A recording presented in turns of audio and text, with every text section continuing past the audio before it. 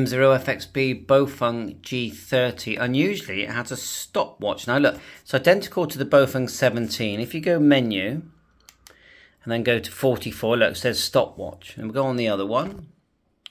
Menu. Menu. 44, stopwatch. Press it again. Confirm. And there you go. So they both have it, although it's not actually advertised.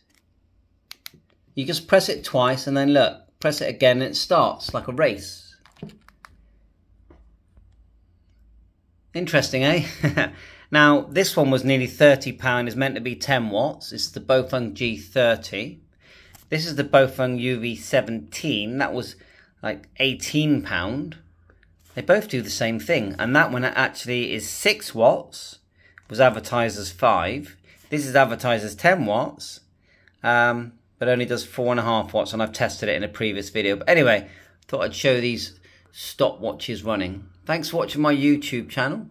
Please remember to like and subscribe. 7-3 all the best. And to come out, just back out like so.